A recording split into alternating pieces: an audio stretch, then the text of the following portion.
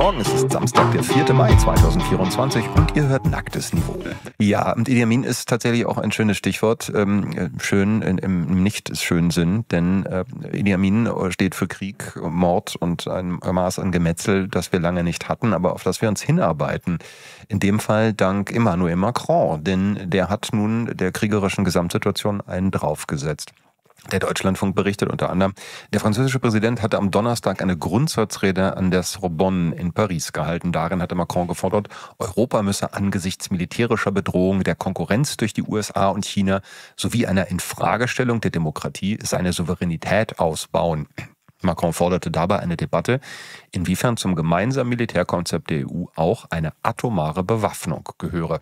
Angesichts der Herausforderungen, vor denen Europa stehe, dürfe man nicht ängstlich und feige werden, schrieb daraufhin Fritze Merz in seiner wöchentlichen E-Mail an seine Anhänger. Ich meine, da musste ich wieder lachen. Ich frage mich, wie viele Menschen dieses Blatt abonnieren oder diese Mail. Nee, habe ich nicht gemacht. Also jedenfalls Merz schreibt jetzt eine Rundmail und sagt, da, das, was der, was der Macron gesagt hat, da stimme ich zu. Europa braucht jetzt eine kraftvolle Antwort auf die kraftvolle Forderung von Macron. Also Kurzfassung, Macron will Atombomben, Friedrich Merz sagt, super, jetzt müssen wir handeln.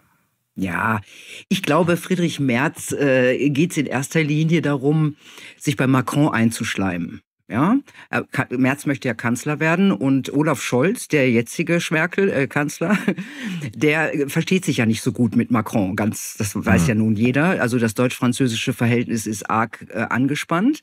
Also reist jetzt Merz nach Paris und schleimt sich ein. Ja, also äh, also äh, im Grunde die Zukunft äh, für die Zukunft und dass es darum geht, das sehe ich auch an einem äh, Post auf X von ähm, Friedrich Merz. Da steht, der französische Präsident Macron hat allen Behörden untersagt, die sogenannte gendergerechte Sprache zu nutzen, um die schöne französische Sprache zu schützen. Auch wir könnten auf die Mehrheit der Bevölkerung hören, die Gendersprache ablehnt. Also für mich will er sich bei Macron schon mal schön einschleimen ähm, für den Fall, dass er dann Kanzler wird und äh, er möchte Olaf Scholz ausboten. Und ich, das erinnert mich ein bisschen an Angela Merkel, die damals als Schröder äh, den Amerikanern gesagt hatte, er möchte, er geht nicht mit der NATO in den Irakkrieg. Mhm ist Angela Merkel gleich nach Washington gereist und hat gesagt, aber wenn ich an der Macht bin, ich würde sofort dabei, ich wäre sofort dabei. Ja. Tja, und also wer kam glaube, dann an die Macht? Ja. Ähm, tatsächlich finde ich aber diese, diese äh, Macronische Nummer gar nicht, gar nicht so unbeachtlich. Macron hat ja dann auch noch gesagt, ähm, äh, Bodentruppen in die Ukraine zu schicken. EU-Bodentruppen, europäische, also französische wahrscheinlich in erster Hand, äh, Linie. Macron alleine entscheidet ja nicht. Oder, oder auch NATO-Truppen, sagte er wörtlich. Auch das entscheidet natürlich nicht alleine. Das wäre dann angezeigt, wenn die Russen da eine Linie durchbrachen, durchbrechen oder wenn Zelensky das fordert. Nun äh, nehme ich mal an, dass er nun nicht automatisch äh, Herrn Zelensky die Entscheidung überlässt, wann NATO-Truppen in die Ukraine einmarschieren. Da wird irgendwelche wird es Absprachen im Hintergrund geben. Aber das ist eine weitere Eskalation, die Macron da anstreckt. Ich meine, das kann man alles als Gerassel abtun. Aber ja, Macron äh, eskaliert ja schon seit Wochen. Das ist ja nicht das erste Mal, dass er sowas sagt. Ja? Das heißt, es sind immer diese, ähm, diese Nadelstiche, das sind diese Schlagworte, die in die Welt geworfen werden, dass die Leute sich dran gewöhnen. Das ist hm. auch das Wesen von Propaganda, das haben wir ja auch in jeder Sendung. Ja?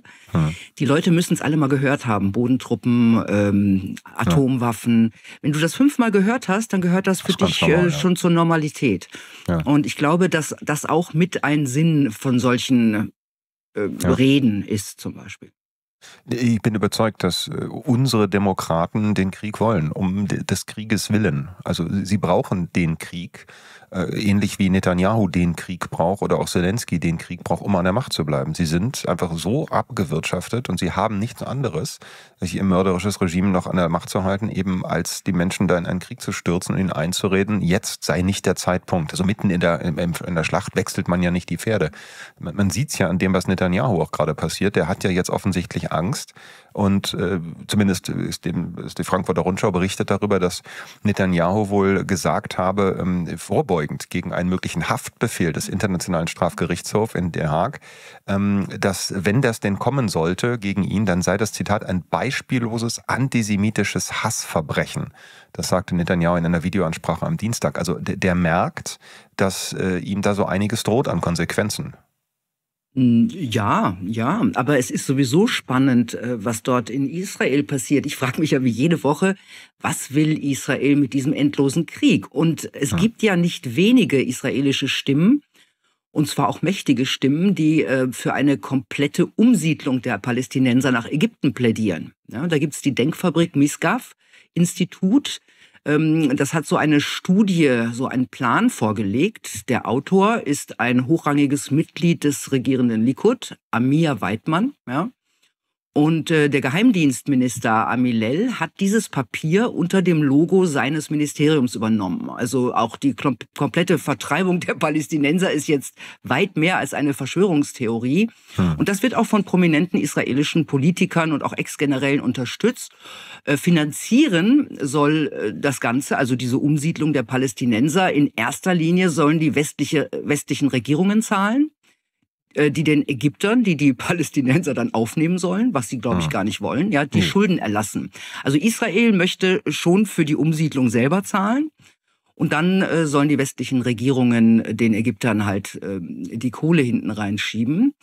Ja, ein hübscher Plan. Also ich persönlich glaube nicht, dass die Israelis in der Masse so denken. Ja. Nee. Ich glaube, äh, sie haben eine Regierung und ein Militär. Äh, man darf nicht vergessen, die haben sich bei diesem grausamen Überfall der Hamas so dermaßen blamiert, ja, ähm, dass ich mir schon vorstellen kann, dass sie das Problem jetzt endgültig aus der Welt schaffen wollen. Und Präsi äh, Premier Netanyahu ist ja auch auf die Extremisten in seiner Regierung angewiesen. Hm wenn er, er stürzt. Er regiert mit bekennenden Faschisten, ja, das muss man mal dazu sagen.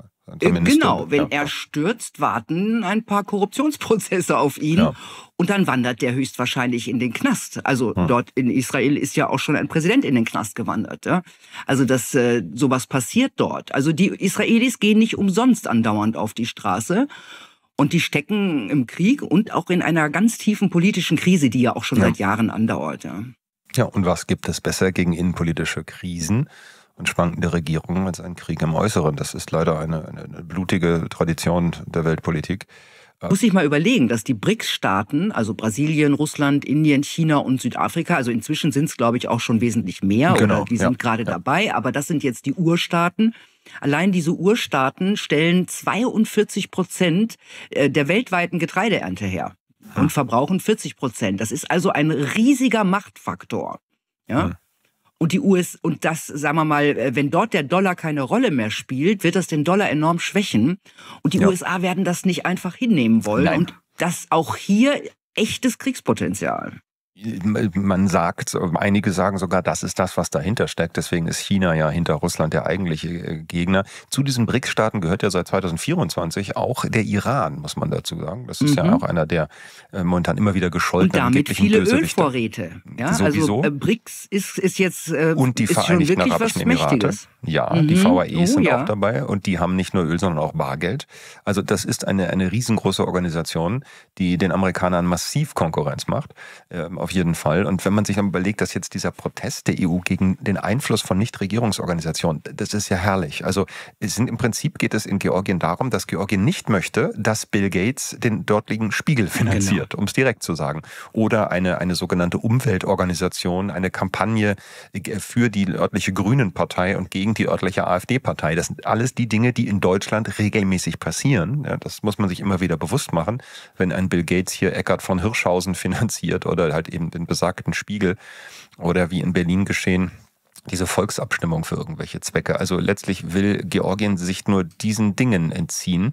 Und das ist dann ja russische Antidemokratie nach, aus, aus ja, genau. Ja, aber die Russen machen das ja schon. Ne? Die Russen ja. haben das ja auch schon gemacht. Und äh, es ist interessant, dass jeder nur schreit, äh, das ist antidemokratisch, aber niemand anscheinend mal kurz überlegt, was diese NGOs dort machen, ja, und ähm, dass man da vielleicht tatsächlich der Ansicht sein könnte, dass man das nicht haben will, ja. Das sind ja auch eventuell CIA-finanzierte Geschichten. Leben bleibt es dabei. Unsere Freiheit ist so verloren wie unsere Sicherheit und auch unser Wohlstand. Und Sie alle werden nicht von selbst zurückkehren, denn keine Partei und kein Erlöser wird uns von den Verbrechern der herrschenden Parteienkorruption befreien. Es ist allein an uns, den Journalisten Julian Assange aus seiner Folterhaft zu befreien und den Massenmörder Karl Lauterbach der Strafe zuzuführen, nach der seine Taten schreien. Wir sind es, die den Syndikaten von EU, WHO und NATO endlich den Rücken kehren und sie samt aller anderen Besatzer aus unserem Land jagen müssen. Es ist an uns, Deutschland endlich zu dem zu machen, was es auf dem Papier lange sein möchte. Ein Land der Freiheit, der Demokratie und der Rechtsstaatlichkeit. Nichts davon wird es je werden ohne eine Revolution. Eine Revolution für unser Grundgesetz. Die können wir erreichen in Frieden und mit Humor. Ganz einfach dadurch, dass wir die Verbrecher bei ihrem Namen nennen und ihnen die Wahrheit ins Gesicht rufen, wo immer wir sie antreffen. Ich danke euch fürs Zuhören und Milena Preradovic für das gute Gespräch. Das war Nummer 136 des Nackten Niveaus. Die nächste Ausgabe folgt am kommenden Samstag, denn Widerstand ist nie zwecklos. Bis dahin denkt bitte daran, nacktes Niveau bleibt einzig und allein dank eurer freundlichen Unterstützung auf Sendung. So ihr etwas geben könnt und möchtet, geht auf paulbrandenburg.com slash spende und wählt dort euren bevorzugten Zahlungsweg. Allen Spenden herzlichen Dank und euch allen ein wunderbares Wochenende.